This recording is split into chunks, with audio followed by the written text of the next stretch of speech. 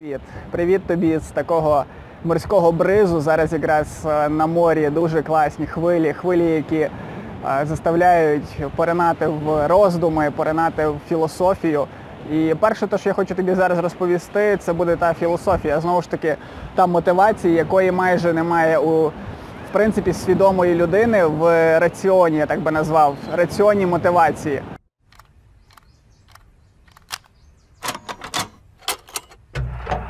Приготовьтесь к выполнению гимнастических упражнений.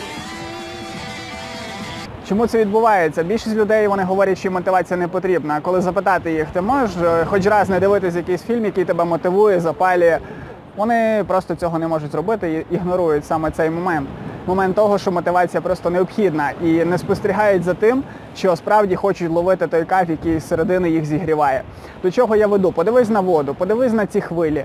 Е, Ще зранку, коли я приходив сюди, воно було спокійне, воно було вгамовне, так воно було щире. Просто ніхто йому не давав імпульсів, не давав енергії. Зараз з'явився вітер.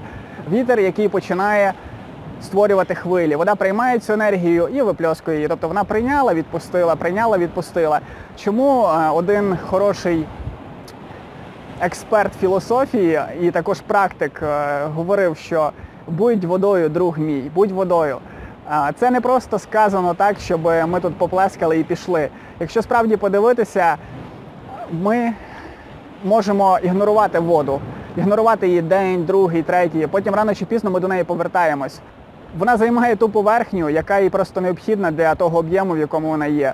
Наприклад, якщо ви бачите рівень моря, вона не буде з вами лізти вверх, досягати вас, шукати вас, тому що вона має своє. Вона знає, що вона має цінність, і ви до неї в будь-якому випадку звернетесь.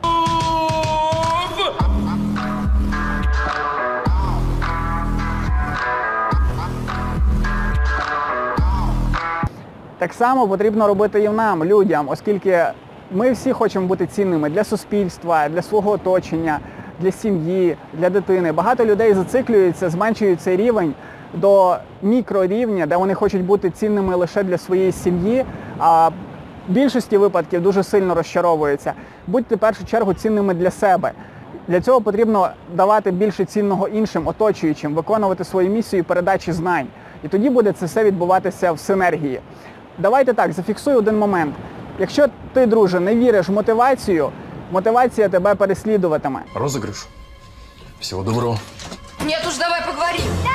Лёва из Краснодара, вы чё? Ти просто помітиш за собою, що хоча б раз, другий чи третій раз ти будеш дивитись мотиваційний ролик, ти будеш заряджатись енергією. І це буде давати тобі драйв, це буде тобі давати кайф. І ти будеш казати, да, я хочу щось робити, я хочу, я хочу брати і руйнувати ці бар'єри, я хочу просто брати і рухатись вперед, бути водою, брати енергію звідкись і передавати її хвилями. Ось тоді ти скажеш, що справді мотивація працює. Просто поняття мотивація в суспільстві воно трошки роз'їджене. Кто тесто? Ты? Будь деревом, будь деревом, яке дає плоди. І пам'ятай, що зразу дерево не є цінним, коли воно без плодів. І є періоди, коли воно не є цінним. Будь деревом, яке буде давати плоди в майбутньому, прорости себе і давай цінність людям. Тоді буде створюватись внутрішня повага до себе, тоді буде в тебе любов, синергія з оточенням, з тими людьми, які тебе поважають і люблять. Я взагалі дуже зараз сильно практикую, переконуюсь в тому, що рівень комунікації це необхідна штука в нашому житті. Але комунікація з собою, тобто ця ж мотивація, вона справді буде тебе заряджати. Насолоджуйся бризами, руйнуй шаблони і розвивайся. Якщо в тебе є друг, якому зараз важко, можливо, в нього не прості часи у житті. Перекинемо це відео, нехай подивиться, перегляне те, що в нього є цінністю у житті. Нехай побудується, замотивується і почне рухати себе вперед. Тому що помилки вони будуть завжди, а мотивація його підігріє зсередини. А тобі буде плюс до карми. Живи, радій, насолоджуйся життям. З тобою був Ростислав Романів. Папа, на зв'язку.